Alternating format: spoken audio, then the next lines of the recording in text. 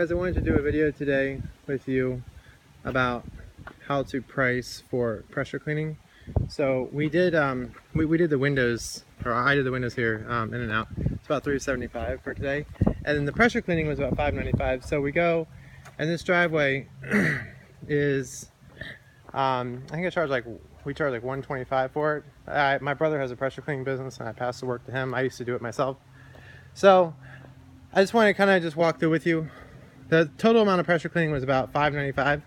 So like for these walk these stepping stones, this would be about $40 right here. Okay? And you just kind of want to like um you kind of want to figure out your work like it's fit, you know, if you want to like how much do you want to make if you want to make 60 an hour, um a dollar a minute, you know, figure out how many minutes it would take you. With pressure cleaning, you might want to make more than uh 60 an hour because of the uh, expenses. So window cleaning you might want to shoot for around 60 an hour. But these rocks right here, these big rocks, and it may include some up front. Um, this was 80 for the rocks. And you kind of spray these with chlorine, maybe a little bit of uh, pressure cleaning. the furniture, that was 40.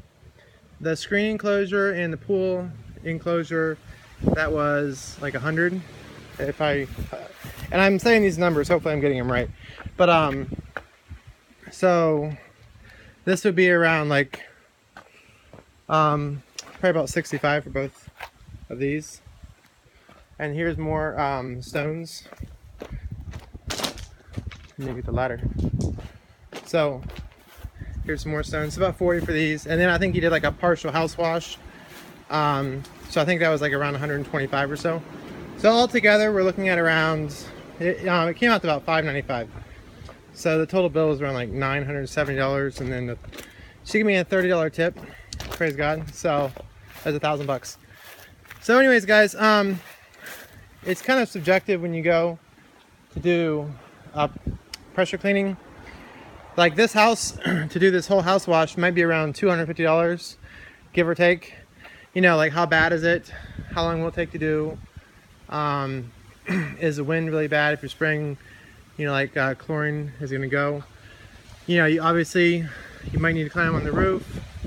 So you just gotta kind of like put those factors into and, and how much you want to make per hour. This roof, you know, some people might do a roof by the square foot. They might look on the property appraiser's office or whatever and try to see the square footage.